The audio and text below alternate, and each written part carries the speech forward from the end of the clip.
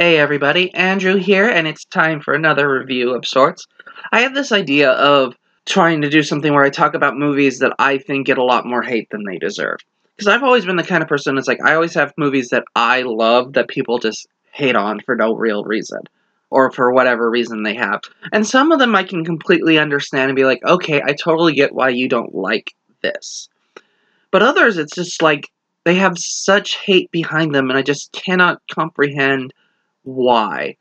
Because to me, they're just a really interesting or a really good film, and it's just like there might be like one or two little nitpicks that just people focus on, and that's all they see. So I'm going to be doing a little series from now on, every once in a while, that I'm going to be calling Fighting the Hate, where I take a movie that I think gets more hate than it deserves, and I talk about it.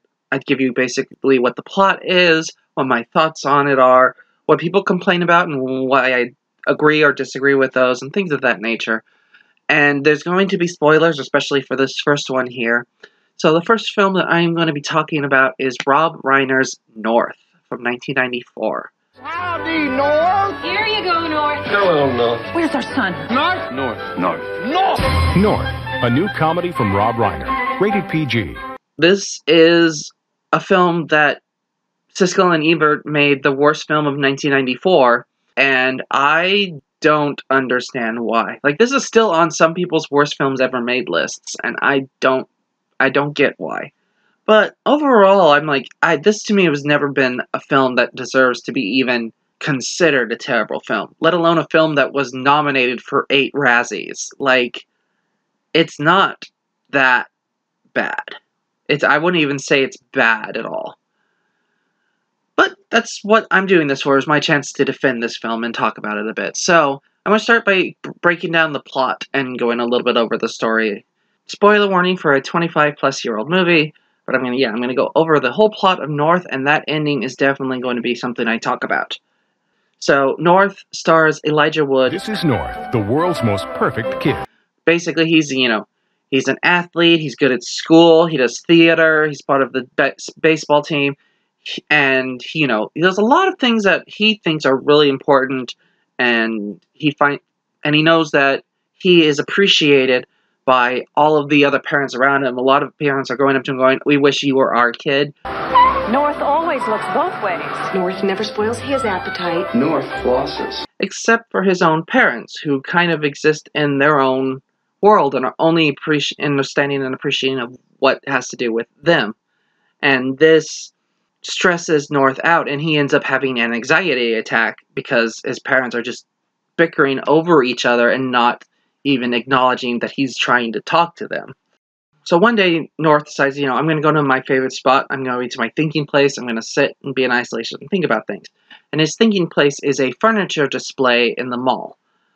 And he's sitting in- in his thinking chair, and this man in a bunny suit comes up to talk to him. And the man in the bunny suit turns out to be Bruce Willis. Who are you? I'm North. See your name on maps. Very impressive. Funny in its own right to have Bruce Willis in this bright pink bunny suit nibbling on a carrot. It's just freaking hilarious. The Easter Bunny basically looks at him and goes, It's like, well, it's one of those things of, you know, family is important. They are the people that you are with. It's not like a sports team. You can't just move to another team if you're not treated well. The one thing that we cannot control in this life is who our parents are. You felt the hand, you're stuck with it. you know, it's best what you need to do is go home, tell them how you're feeling, and get over it. And North is like, wait, what was that part about trading to a different team? Why can't I trade in my parents for better parents? So he leans back in his thinking chair, and next it cuts to him going to see his friend Winchell, who works in the school paper.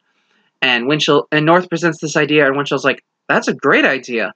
We need to get you a lawyer so we can file a divorce from your parents and get you so you can have new parents." And they end up getting a, um, you know, ambulance chasing lawyer named Arthur Belt, who is played by Jon Lovitz. And basically, Jon Lovitz fills out the paperwork, and they pr- print it in the school newspaper, and they spread that newspaper throughout the town. And North's parents see that paper, and they immediately go into a comatose state.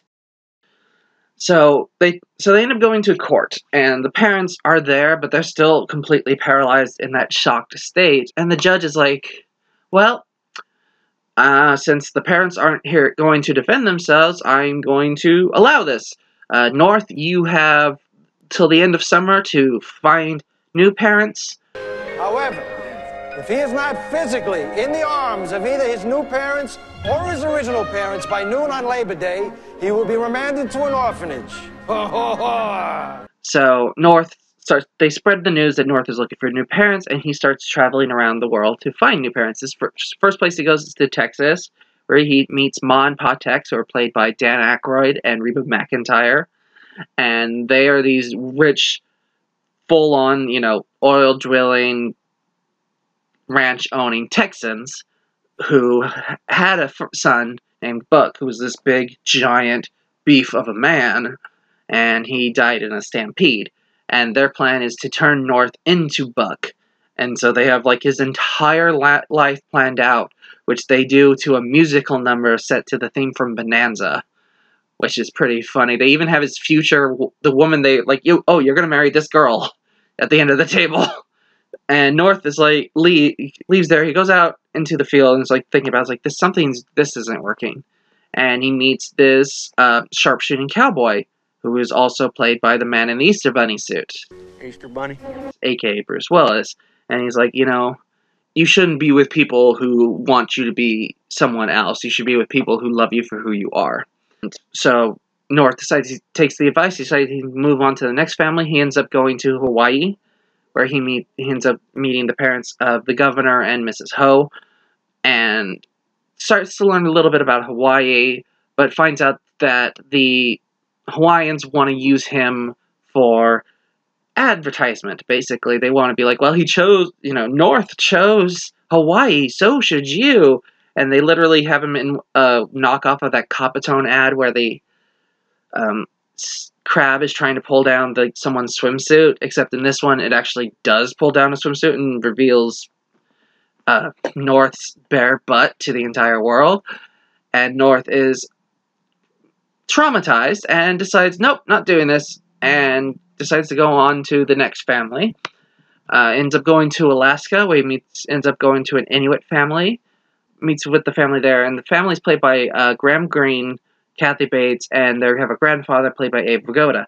And, and Abe Vigoda's character has gotten so old that they now have to journey to the edge of the ice to send him out on an ice floe to die. And North goes with them to do this, but it's like by the end he's like, I don't think I want to be part of a society that sends people out into the sea when they get old. So he gets back to the airport and is like trying to fly out. Real finds out that his time left has shrunk dramatically. That that journey took weeks, and now he has may, less than a month to find his new parents. Now I have to rush through a bunch of families. So he goes to an Amish family and he's like, nope, Parents who have old fashioned values. not doing that. Goes to a French family, doesn't work there, and Parents who have taste.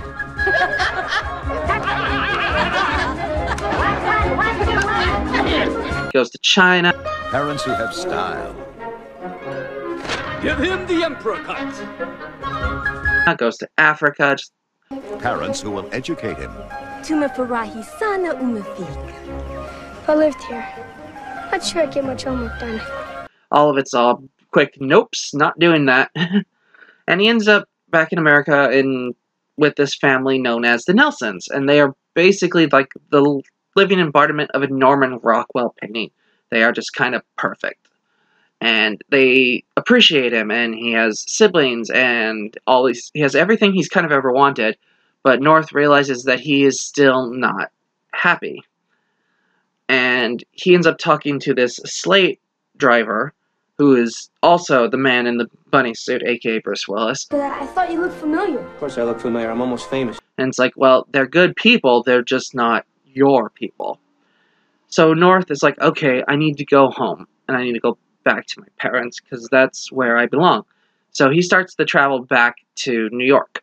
During all of this, uh, Winchell and the lawyer have been using North's actions to start a business and to gain power and to basically uh, using all of the kids in the neighborhood and all the kids in the area. It's like we now have the power over the parents because any of the parents act up, we can do what North did and leave them. So now they have to treat us better. Winchell and the lawyer do not want North to go back to his parents because they will lose all of the power and stuff that they had gained through these actions. So they end up hiring someone to assassinate North. North ends up actually, while trying to get back to his parents, ends up running to a bunch of different versions of Bruce Willis. One is a comedian, one is a FedEx driver, and they end up getting him to his home, but his parents are not there. They are in his favorite spot. So North runs to the mall, starts heading towards the parents who are finally out of their comatose state and are waiting for him. The hitman shows up, the gun fires, and North wakes up in the mall in his thinking chair. And turns out the entire story had been a dream. And he's like, oh, and but he's realized some stuff, and the Easter Bunny shows up again and gives him a ride home, and he greets his parents and tells them everything that, you know, how he's feeling and everything that goes on. It ends on a positive, happy note. And yeah, I'm not, I enjoyed a lot of this film, and I, but I kind of get some of the things that people complain about. Because first off, it the entire film is a dream sequence. Uh, yeah, I get that being a complaint because a dr- film that is entirely a dream sequence is the equivalent of lazy writing, usually. So, because a lot of times you have that where it's like we build up, we we wrote ourselves into a corner, and only way we could think to get out of it is, what if it was all a dream? Like, yeah. But actually, with this film, I honestly think it kind of works.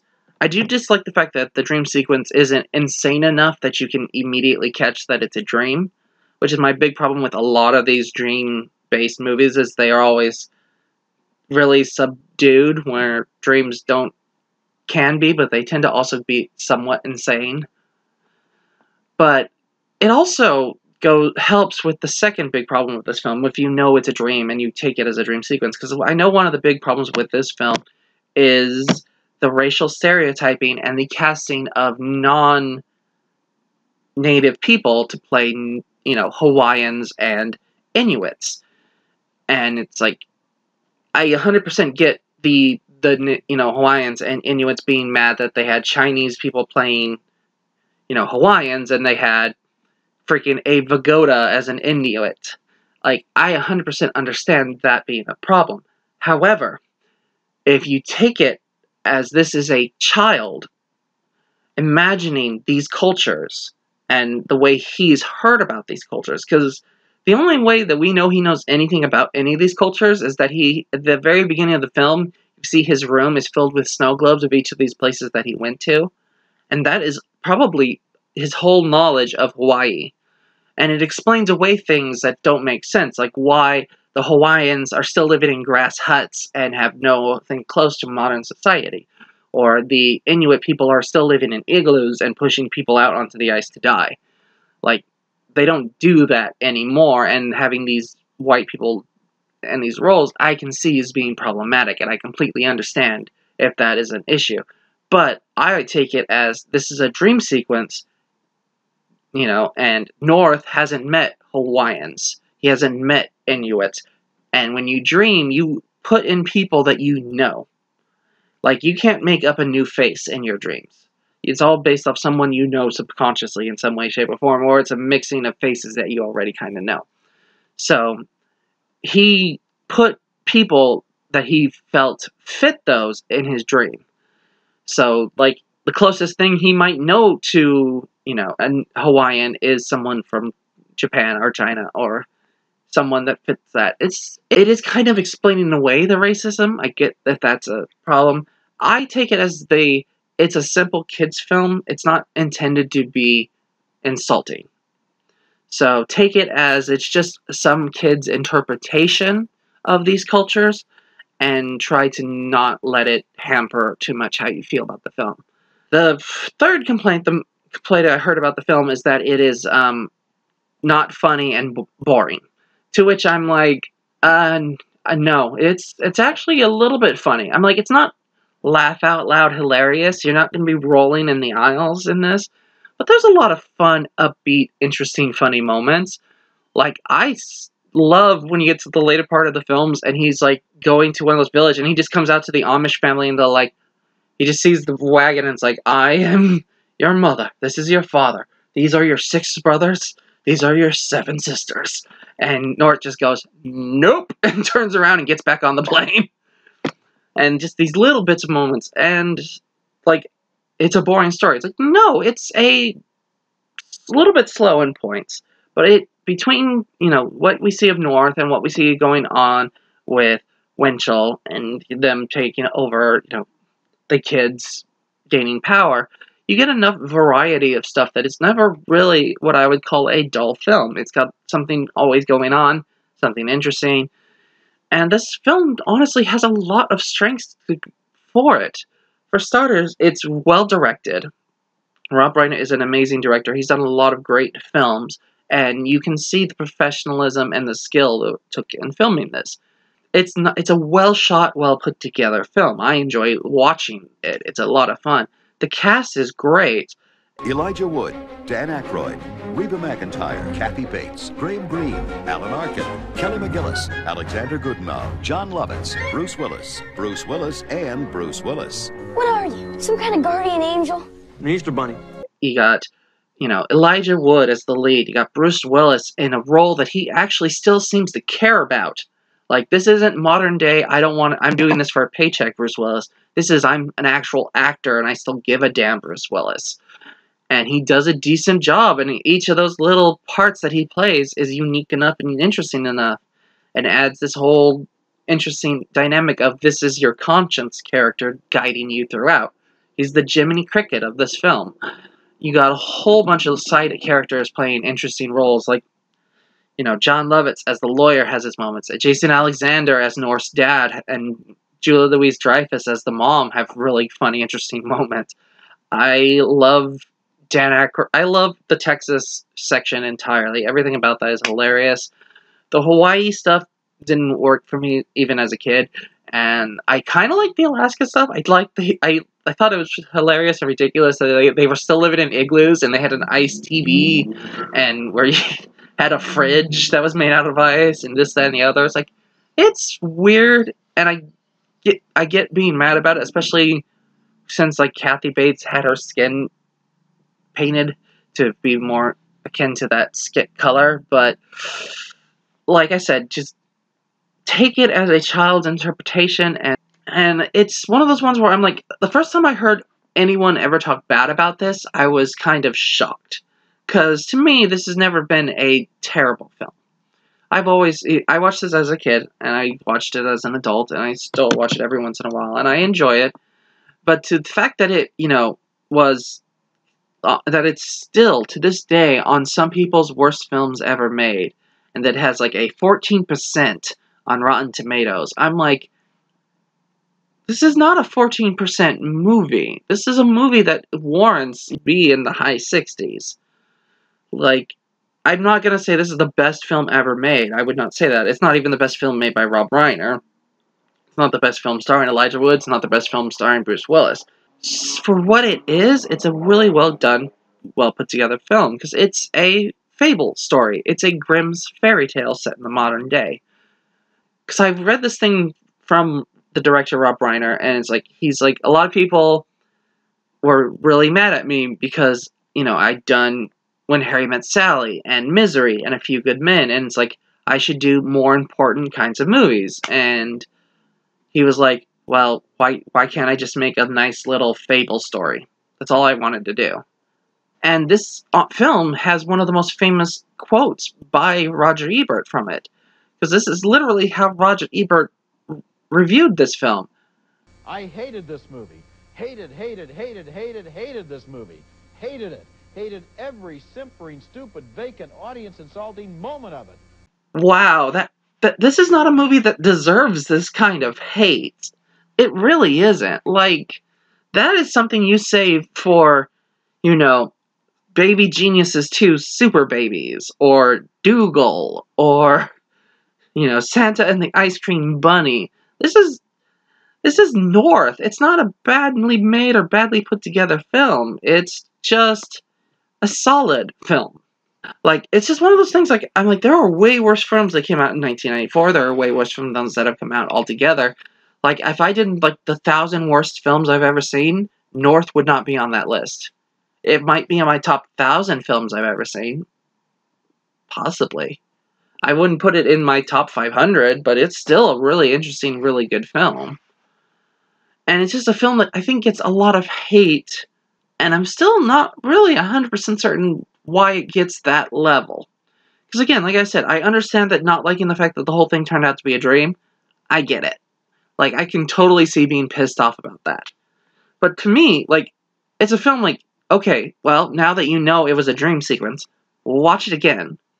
And you get more out of it, and you can pick up on these things that are like, oh, okay, the fact that it went to these somewhat extreme reactions to things makes more sense because it's a kid's dream. But it's one of those ones like I've enjoyed it more and more the more I've watched it. It grows on you. It's a film with a great cast, great performance, interesting story, well directed, well put together. It is a solid 4 out of 5 for me. I enjoy this film a lot. I don't think it deserves nearly half the hate that it gets.